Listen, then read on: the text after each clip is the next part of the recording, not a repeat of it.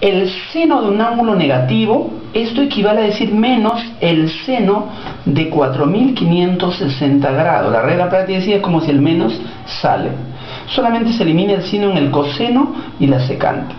Bueno, eh, ¿qué más? Vamos a reducir pues este 4560. Ya sabemos que 4560 lo vamos a dividir entre 360.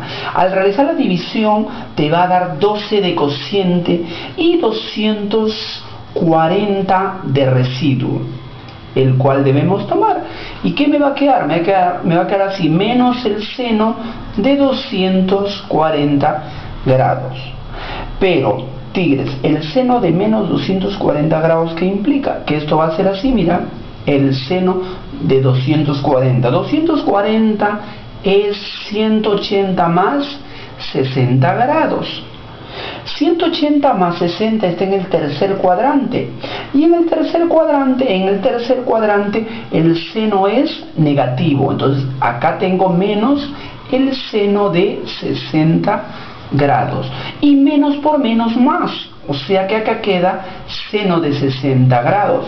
Y el seno de 60 grados, recordemos, es raíz de 3 sobre 2.